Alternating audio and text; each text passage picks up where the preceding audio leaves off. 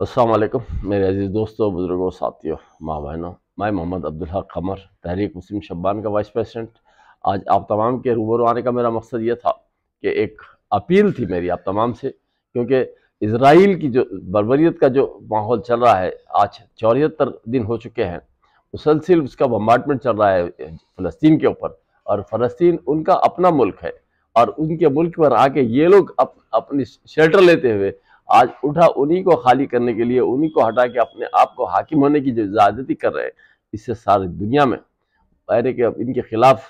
माहौल बना हुआ है और हर जगह लाखों में लोग प्रोटेस्ट कर रहे हैं। हर मुल्क में सारी दुनिया के अंदर एक सौ तिरपन मुल्क तो आज उनके खिलाफ खड़े हुए हैं और जो फ़लस्तीन के फेवर में ठहरे हुए हैं और इसराइल उसके बावजूद भी इसराइल और अमेरिका उसके बावजूद भी अपनी ज़्यादती से, अरे हटने को तैयार नहीं है। ऐसी सिचुएशन में मैं आप तमाम से अपील करता हूँ कि कम से कम आप लोग 24 दिसंबर के दिन, यानी कि करीब दो बजे, आप अपने धरना चौक पे आए, दो से चार बजे तक दो घंटे का हमारा धरने का प्रोग्राम रहेगा। जो धरने का मतलब ये नहीं है कि हमको प्रोटेस्ट करना है, कि हमारी एक मैसेज पहुँचना है कि हम भी फ़लस्तीन के साथ हैं। क्योंकि आज का जो माहौल चल रहा है, अफसोस इस बात का है कि हमारे दीन हमारे मशाइन हमारे इस्लामिक स्कॉलर्स जो कि बी आर एस के तइद में भेजा गैर ज़रूरी के, जबकि ज़रूरत नहीं थी, जो कि मसाजिद को शहीद करने वाली जमात के तइद में ये लोग आगे बढ़कर झूठे तरीके से बयान दे सकते हैं कि जो मसाजिद शहीद करी, उसके हक में वोट दो। तो क्या ये लोगों को नज़र नहीं आ रहा ये ये लोगों का काम नहीं है कि फ़लस्तीन के फेवर में हम भी एहतजाज करें। ये तो काम उलमाओं का था मशाइन का था, इस्लाम, इस्लामिक स्कॉलर्स का था कि वो अपनी आवाज़ बुलंद करें और तमाम को अपील करें कि आओ धरना चौक पर, हम आपके साथ हैं। हम हम अपनी आवाज़, यानी कि बुलंद करते हुए ये कहेंगे कि हम फ़लस्तीन के साथ जनाब, यहाँ पर नाइंसाफ़ी हो रही है, वहाँ नस्ल कशी हो रही है, वहाँ पर जुल्म हो रहा है। लेकिन अफसोस कि हमारे उलमादीन बिल्कुल खामोश हैं और सियासी जमातें जो बड़े बड़े बिलंग बांग दावे करने वाले भी अपनी जगह खामोश हैं। और कम से कम ये सिचुएशन ऐसा है कि हमारी हमारी मैसेज को हमारे दुनिया के अंदर ये फैलाना है और ये बताना है कि हम भी आपके साथ हैं। ताकि कल के दिन हम आज ज़िंदा हैं, कल मर जाएँगे। लेकिन कम से कम हम अपने क़्यामत के दिन हम ये तो कह सकेंगे कि हमने फ़लस्तीन के साथ जो जुल्म हो रहा था, उसके लिए हमने भी आवाज़ उठाई थी। कम से कम इसलिए तो आवाज़ उठाए, क्योंकि आज हमारे उलमादीन तो खामोश हैं, लेकिन हमारे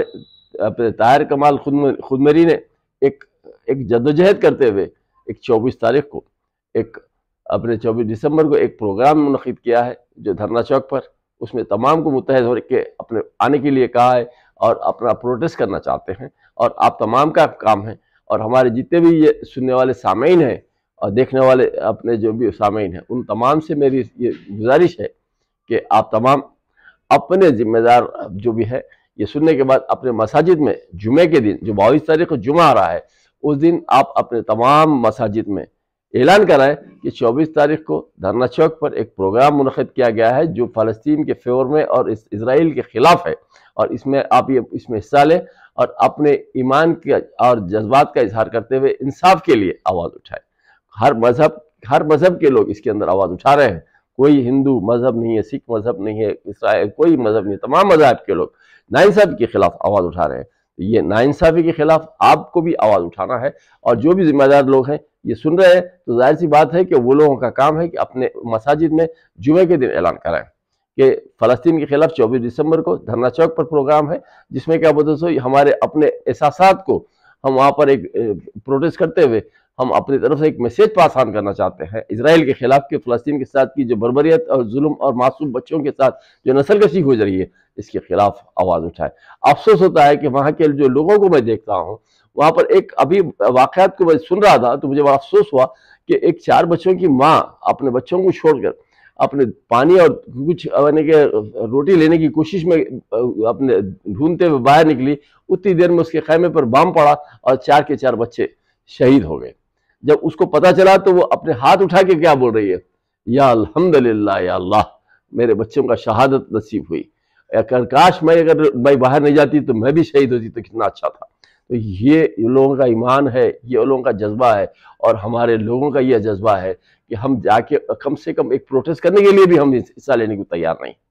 एक और एक वाक़ सुनाता हूँ, ताकि आप लोगों को भी एहसास हो कि आप कम से कम आप भी आए वहाँ पर धरना चौक में, ताकि कम से कम कुछ नहीं तो आखिरी तीसरा जो दर्जा है, जो दिल में बुरा माने और अपने आप से कब जाके अपने कुत से नहीं मुकाबला कर सकते हैं जबान से नहीं मुकाबला कर सकते हैं तो अपनी अपने आप को आके कम से कम जो प्रोटेस्ट में हिस्सा ले, ताकि ये अल्लाह ताला के पास ये भी आपकी हरकत अल्लाह को कामयाब गुजरेगी और अल्लाह ताला आपके मकसद को कामयाब बनाएगा। और कल के दिन ये एहसास होगा आपको भी कि भाई हमको भी एक नाइंसाफ़ी के खिलाफ आवाज़ उठाने के लिए हमको भी मौका मिला।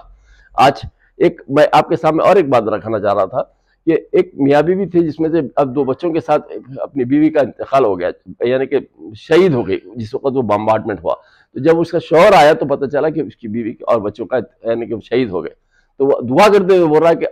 या अल्लाह मेरी बच, मेरी बीवी हर वक्त मुझे मुझसे नंबर आगे लेके जाती थी। आज भी शहादत में मेरे से आगे नंबर लेके चले गई अगर काश अगर मेरी बीवी के साथ मैं रहता तो मैं भी शहीद हो जाता तो कितना अच्छा था।